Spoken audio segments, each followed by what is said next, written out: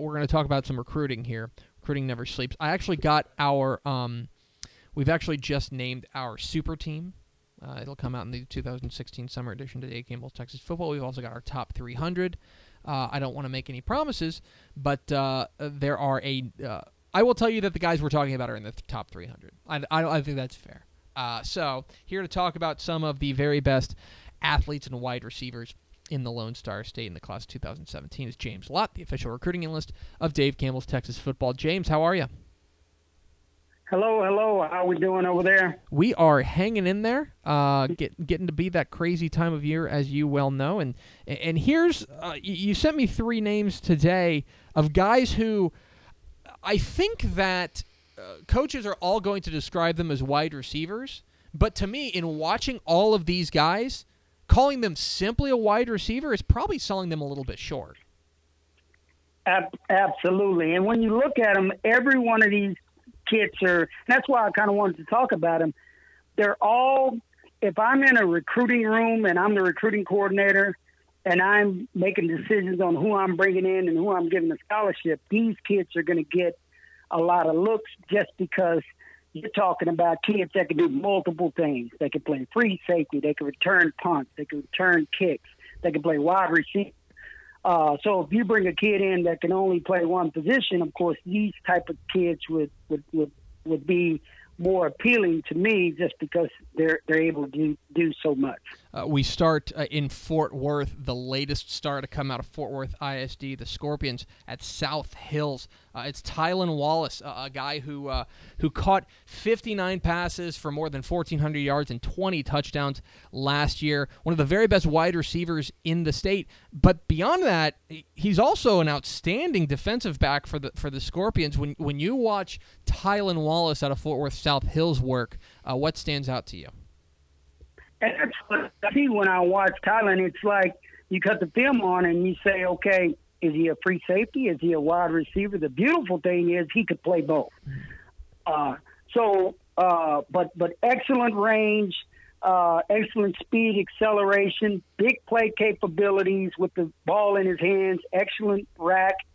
Uh, uh, so when he catches the ball on a hitch route, he can take it to the house. Something to watch. Excellent jumping ability, can climb the ladder and go get the rock up up up high.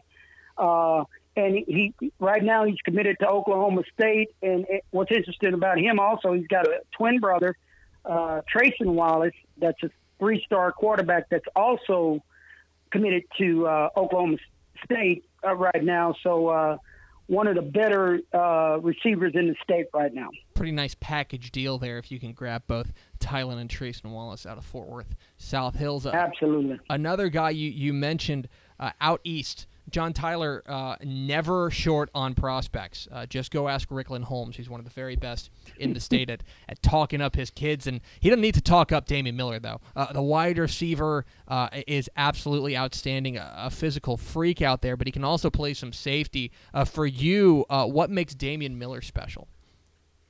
Big, strong, 6'2", 195, 4 kid that could run and, and jump caught 41 balls for 912 yards and nine touchdowns last year. Excellent explosion off the line of scrimmage. When I watch him, I cut the film on. It's like, boy, this kid really explodes off the line of scrimmage and he eats up that cushion on those defensive backs. He can track and locate the ball over either shoulder. Uh, you know, just a just a freak, like you said. Uh, they move him around. They may put him in the backfield. They'll bring him around on reverses. Uh, but then you you you turn around and they play defense. They'll throw him out there on defense, and he's making plays over there. But uh, just a tremendous athlete. Uh, committed right right now to Texas, but I, I, it was something interesting I read earlier. Uh, it, it said that he was seventy percent committed. Well, last time I checked, committed me one hundred percent. So I guess things have changed. Uh, uh, but but just a freak of an athlete who, who if he does end up going to my Longhorns, I'm looking forward to that. He is uh, he, he's he's really something special, and I'm glad you brought up the the idea of, the, of, of him getting up the line quickly. I, I, think that for a lot of fans, it's easy to look back there and, and see a guy like uh, let's use KD Cannon at Baylor for example. KD Cannon has outstanding top end speed. That if he gets up to full right. speed, it's it's over. He's the fastest guy on the field. Uh, here's a guy in Damian Miller who it seems like his biggest strength isn't necessarily how fast he is once he gets up to full speed, but how quickly he gets there. Right, and what you what you look at is when when the ball snap, he's coming off the ball with such explosion on a defensive back. He pushes, he puts pressure on that defense immediately, and that defensive back's got to got to flip his hips and come out his back pedal uh, a lot quicker than what he would normally want to. But just a threat uh, and you also can see it really on when he catches a hitch route or a screen or something like that. He's up to top speed like immediately. He explodes off the line. So just a great athlete with great explosion, and one one that's one's going to be a, great one to watch next year. We're talking with James Lott, the official recruiting analyst of Dave Campbell's Texas Football here on DCTF Live. Get involved in the conversation at hashtag DCTF Live. James, one other guy you sent me, uh, he's been in the news a little bit lately.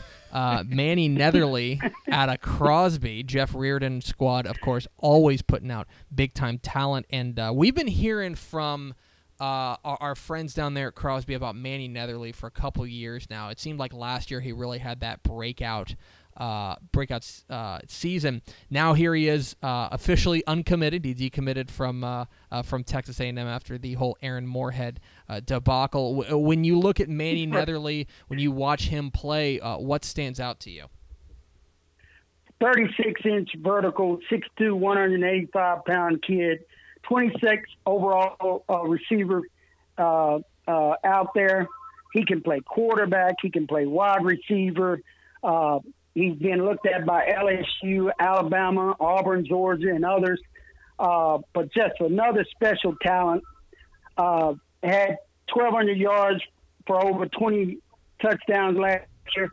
And another guy that played multiple positions. He, he, he played quarterback, wide receiver, uh, kick returner, and punt returner.